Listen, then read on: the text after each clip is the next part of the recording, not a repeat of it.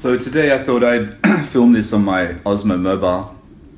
I'm actually walking around with it now, so let me know what you think of the footage.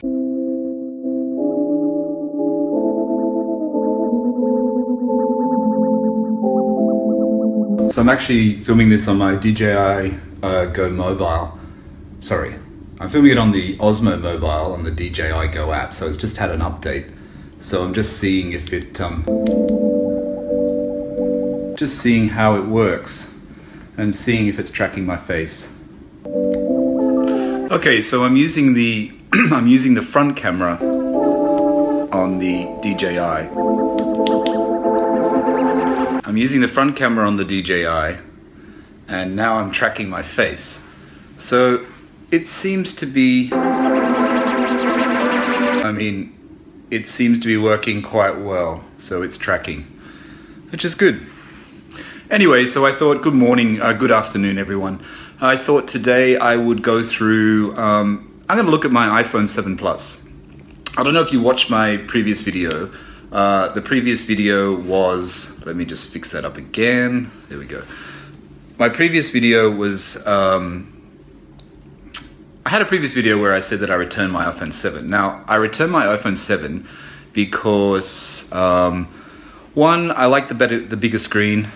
Two, um, the battery life is better on the. See, it just lost me. If you've noticed that, sorry, I'm just, I'm actually leaving it on tracking. Let me just fix this up for a second. Okay, so I'm gonna change it to face tracking. And now we're face tracking. Um, but we're on my 6S Plus, so it's sort of 720p. I'm gonna change arms because it actually gets quite heavy carrying this Osmo Mobile. It's weird, it, it, doesn't feel that heavy, but by the time you're holding it up like this, it, it gets quite weighty. Anyway, so I thought I'd just have a look at my iPhone. I'd return my iPhone 7 um, for the main reason that one, the battery life is less on the iPhone 7. Two, the iPhone 7 Plus has a full uh, 1920 1080 screen or yeah, full resolution screen. The screen on that 7 was not so clear. It was a little bit, to me, it, it just didn't look as good as the 6S Plus. So if I'm going to upgrade, I mean, I upgraded my old 5S, so the reason being is to get a bigger phone. I have two phones, one for the UK and one for Australia, or wherever I am in the world. So, um, but I'm really happy with the 7 Plus. It's it's uh, it's much much better. Let's have a look at it now. Okay, so this is the iPhone 7 Plus. Um, I mean, as you probably already know, when you lift it up in iOS 10, it the screen wakes. This is being recorded still on my 6S Plus on the Osmo Mobile. See the movement.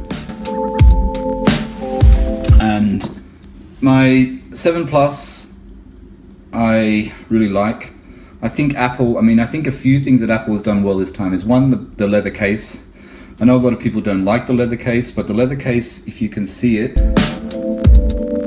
has metal buttons on the side now. So you can see it's actually got these metal buttons. So it's actually a much better quality. It's a much better quality than before. So you can see I still don't know what I'm doing here. Um, the things I like about the 7 Plus, the new home button I think is a is a very very good improvement. Um, it feels good. You can adjust it in three steps uh, for the haptic feedback. I think it works really really well. The other thing, obviously, is the camera. I don't know if you can see that, the light's not so great. There it is there.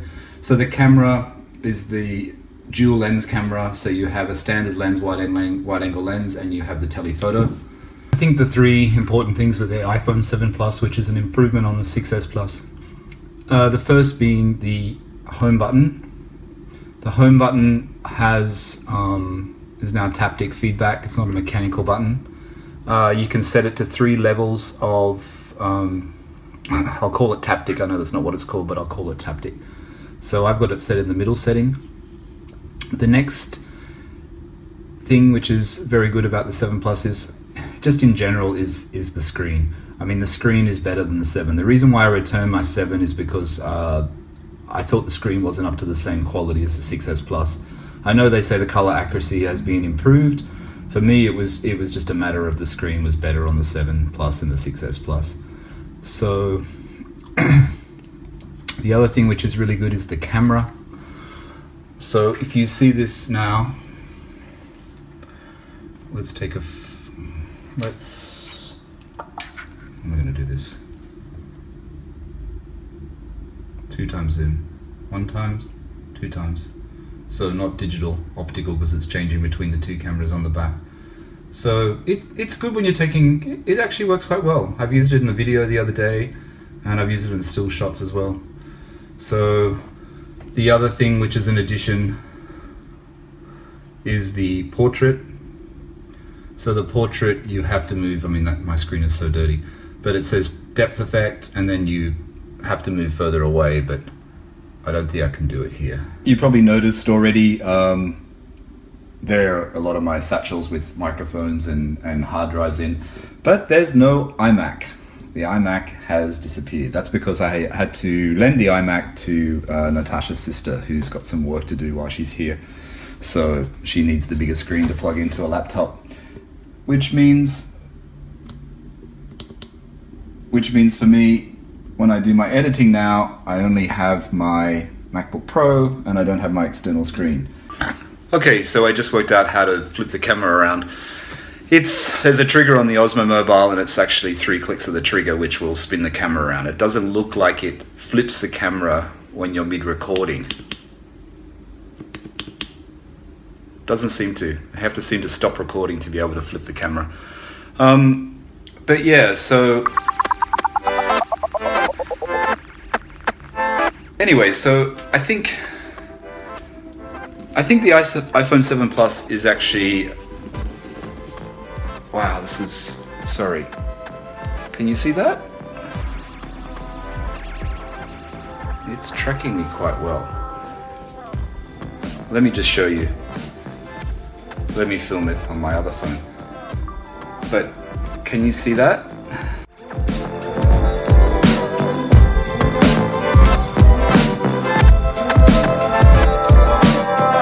Tracking my face. Sorry, that's better. Can you see that now? Like I've got to look down. Sorry, I'm looking at it on my phone, but you can see the green square around me. That's the active face tracking on the Osmo Mobile.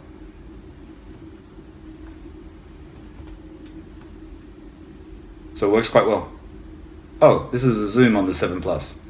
One time, two times, one time. Two times, one time. Two times. Let's get rid of the reflection. There you go. One times. Okay, let me just flip the camera around. Okay, so for the Osmo Mobile, I also bought the um, the stand as well, which you probably saw sitting on the desk. I cannot do without the stand.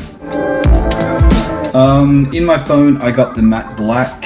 I don't really want to take it out of the case, but that's the bottom of it, which you can see. So the other good thing about the iPhone 7 Plus is that it has dual speakers at the base.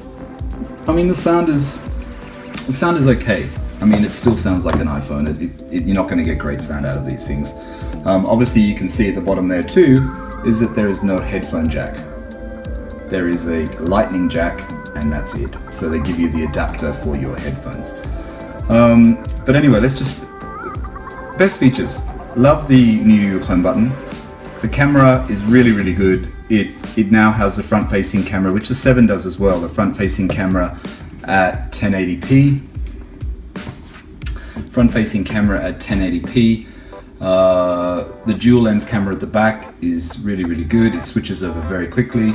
The portrait mode, I think the portrait mode, because it's still in beta, it'll be okay. But I think that um, I think that uh, I think that it will work, but at the moment I think it's still maybe a little bit glitchy. Um, what else is good? I mean, anyone that's tried it has realized that iOS 10 is a, is much better than the previous version.